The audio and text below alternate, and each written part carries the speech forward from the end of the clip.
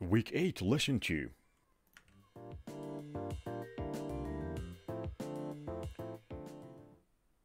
دوستان عزیز هفته هشتم و درس دوم دوره 1100 واژه رو با هم دیگه شروع می‌کنیم. از لغت اول پنج لغت خواهیم داشت و لغاتمون بسیار آسون هستش.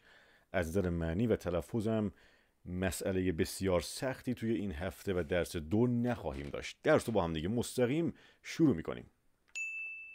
لغت شماره یک ما صحبت می‌کنه از سوء تغذیه. راحت بگم بهتون کلمه سوء تغذیه. رسما میشه کلمه malnutrition. malnutrition. اوکی ببینید دوستان با تلفظ فارسی نگیم. malnutrition یا malnutrition نه. malnutrition. malnutrition. به همین راحتی. یک بار بعد من آروم بگید برم سراغ معنیا و مثال بعدیش. بگید که malnutrition. بسیار عالی. خب معنی شد چی؟ برمیگردیم میگیم که سوء تغذیه تغذیه ناقص نرسیدن مواد غذایی به مقدار کافی. همون با کلمه سوء تغذیه مستقیم میریم جلو. پس میگیم که malnutrition malnutrition. خب چند تا مثال با هم کار کنیم. در ساختار اسمی هست این لغت در ساختار اسمی هستش. و اگه بخوام با این کلمه فعلا یه دونه مثل فقط یادتون باشه که این لغت غیر قابل شمارش هست. نگید malnutritions سوء تغذیه ها. اصلا نداریم کلا. این کلمه کلا خودش uncountable هستش. پس اگه بخوام با این لغت یه مثال بهتون بگم فکر کنم بهترین مثال به این شکل در میاد. با دقت به این مثال گوش برید. مثال اول ما برمیگرده میگه این شخص وزنش اومده پایین. دکتر اینو میگه. میگه خب میگه که علائمی دارم می‌بینم توی بدنش در ظاهرش دارم علائمی و نشانه هایی از سوء تغذیه رو در این شخص می‌بینم آروم آروم یعنی باید ورزش کنه و غذا بیشتر بخوره. میگه که um, I checked the documents and I checked the for example the results. نتایج رو هم بررسی کردم. میگه خب چی شده؟ میگه که I can see some signs of malnutrition. می‌تونم ببینم. I can see some signs of نشانه های از malnutrition. به همین راحتی. I can see some signs of malnutrition in this boy in this girl. به همین راحتی. پس میگه دارم نشانه هایی می‌بینم از سوء تغذیه. به همین راحتی. خب چون لغت راحتیه معنی فارسی خیلی استفاده زیاد زندگی می‌کنیم. میگیم سوء تغذیه این لغت هم راحت برامون جا افتاد. بهتره بریم سراغ لغت بعدیمون. لغت بعدی ما لغت بسیار پرکاربردیه. برمیگرده میگه از کلمه ابتلا صحبت کنید. ابتلا شدن مبتلا کردن. خب در اکثر جاها هم می‌تونن براش برگردن بگن که مورد آزار قرار یا پریشان شدن. خب یه مثال بهتون بگم راحتتر جا بیفته. تلفظ این لغت اول یادتون باشه که این یک فعل هست تو این درس یک فعله و شما تلفظش رو با ا شروع کنید نه با کلمه ا. ببینید نمیگیم افلکت. حالتی بین ا و ا هستش. پس میگن افلکت. افلکت. آرومتر میگم پشت من شما بگید افلکت. بسیار عالی. ترجمه دفینیشنی که آکسفورد ما میده میگه که to affect somebody or something in a really unpleasant or harmful way. شما یک کسی رو تحت تأثیر قرار میدی. تحت شعا قرار میدی. روش تأثیر می‌ذاری. مخصوصا به روشی کاملا ناخوشایند و روشی بسیار مزر و آزاردهنده یا پرگزند. خب یه مثال بهتون میگم. میگم که این مشکلی که در این کشور به وجود اومده کل منطقه رو متاسفانه مبتلا کرده. این بیماری که وارد منطقه شده کل منطقه رو مبتلا کرده. همین کلمه مبتلا میشه افلکت. خب برمیگردم میگم این بیماری. میگم this disease این بیماری this illness این بیماری چیکار کرده؟ Has afflicted the whole area. متاسفانه خبر فوری بیماری حال حاضر تمام منطقه رو تحت شعاع خودش قرار داده. یعنی افلکتش کرده یعنی مبتلا کرده. خب الان برای مثال امریکا میاد بسته های غذایی رو با هلیکوپتر میندازه از بالا به سمت فلز مردم غزه. خب کجا ارسال می‌کنه؟ کجا این بسته ها میفتن پایین؟ در مناطق مبتلا شده. یعنی از طریق جنگ این مردم آزار دیدن به خاطر جنگ و اینا میگن منطقه های تحت شعاع جنگ. اوکی پس برمیگردیم میگیم که America is dropping food packages to the afflicted areas آرامتر میگم بهتون America is dropping food packages food اوکی America is dropping داره میندازه همین الان نشون میده شبکه خبری زنده America is dropping food packages to the afflicted کجا afflicted areas مناطق تحت شعا مناطق مبتلا شده داره اینجاها ارسال می‌کنه و میندازه بسته های غذایی رو. خب بعضی جاها هم برمیگردن بهش میگن که این شخص مبتلا هست مثلا به چیزی با چیزی. حرف اضافه که باش میاد میگین که afflict with something. اوکی with something با چیزی. خب مثلا میگیم بیماری پوستی میگیم بیماری مزمن میگیم بیماری های فلان. هر چی که می‌خوای بگی بگو بعدش یه وید بیار و اون بیماری رو بگو. برای مثال میگم که she is اصلا قدیما میگیم قدیما این بیماری داشته. میگم که she was afflicted with I don't know some sort of skin issues. مبتلا بود به یه نوعی از بیماری پوستی که الان اوکی شده. ولی مبتلا بوده. She was afflicted with skin for example issues. Now she's fine. Now she is 100% fine. Great.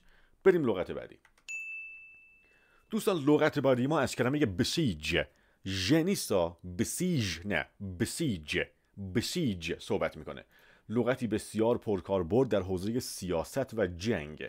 این لغت بسیار لغت پرکاربردیه. پس با دقت اینو با هم دیگه یاد می‌گیریم. دوستان ببینید کلمه حال حاضر ما یک فعل هستش. یعنی شما وقتی میگی بسیج بسیج یعنی میگی محاصره کردن. یعنی میگی فلان کشور فلان سربازار مثلا محاصره کرده. کلمه محاصره کردن میشه بسیج. همین حالتی از بسیجی که میگیم بسیج خودمون یاد همین لغت بیفتید که اینجا میگیم بسیج. فقط یادتون باشه که ما اصلا نمیگیم ژ. یه مثال خیلی جذاب می‌خوام بهتون بگم. ببینید مثلا میگم که حالا مثال میگم میگم کره شمالی به مدت ده سال محاصره شد توسط آمریکا و بعد از ده سال کیم جونگ اون دیگه تسلیم شد.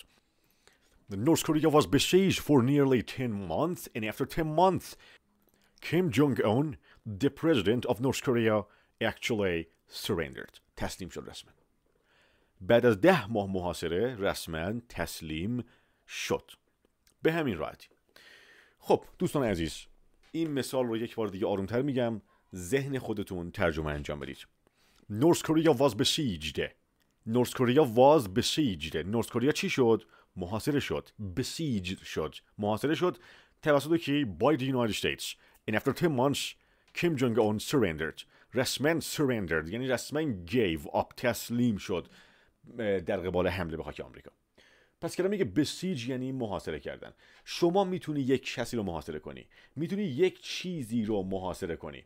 یعنی برای مثال میگم فلان بازیگر از سینما خارج شده مردم محاصرش کردن. پس صرفا ربط نداره مسئله جنگ و اینجور مسائل.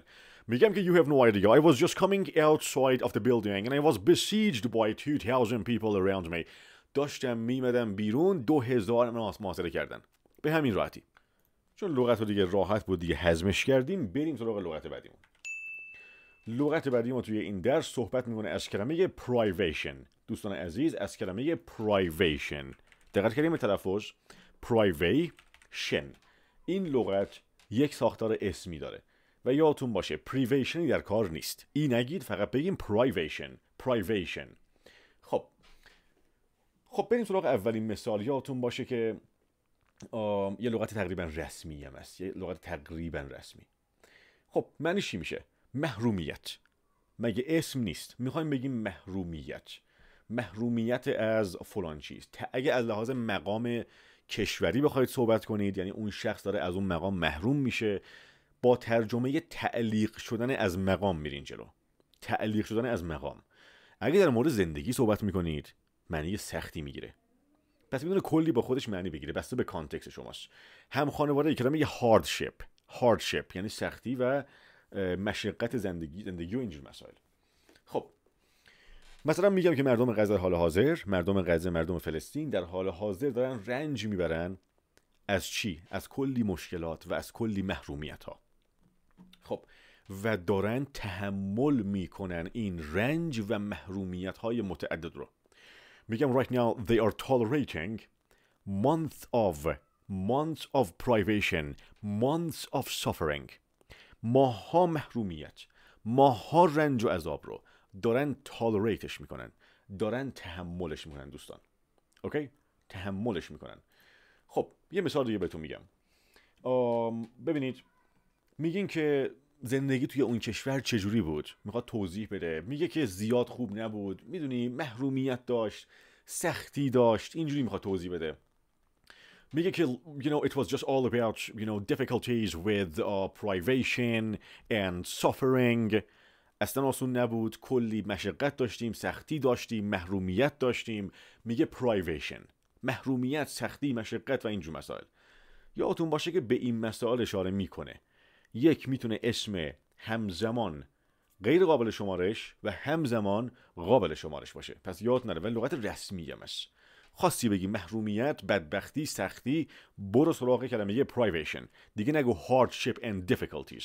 لغت رسمی میگی. بریم بعدی.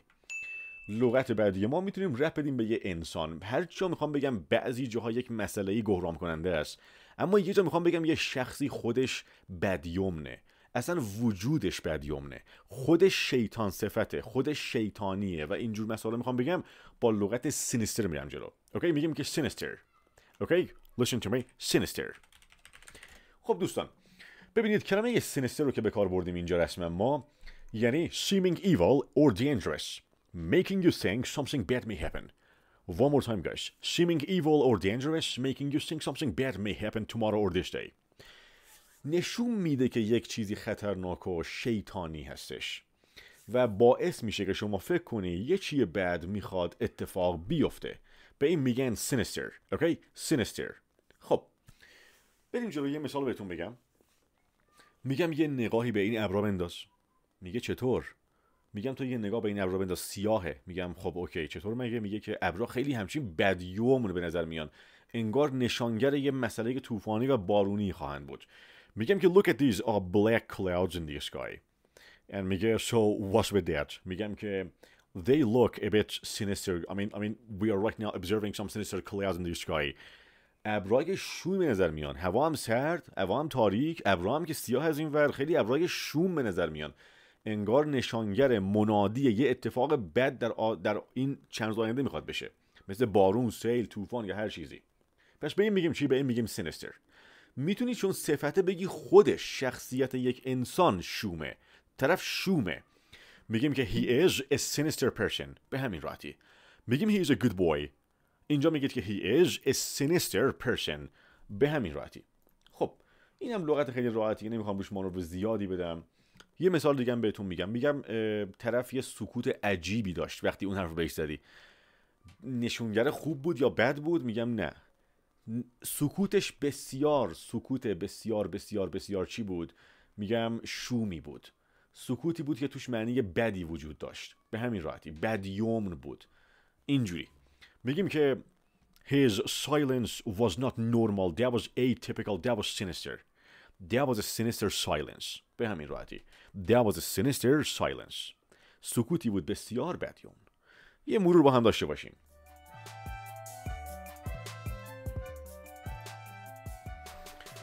خب ببین دوستان عزیز با هم دیگه توی این درس خوندیم که وقتی می‌خوایم صحبت کنیم از کلمه سوء تغذیه میگیم مل نوتریشن خواستیم بگیم که آمریکا داره بسته های غذایی رو به مناطق تحت شعاع جنگ میندازه به مناطق مبتلا به جنگ میندازه ابتلا به جنگ میندازه. کلا این کلمه ابتلا مبتلا تحت شعار و تحت تحت تاثیر رو میگیم afflict. afflicted areas. afflicted the region. For example, this has afflicted the whole city.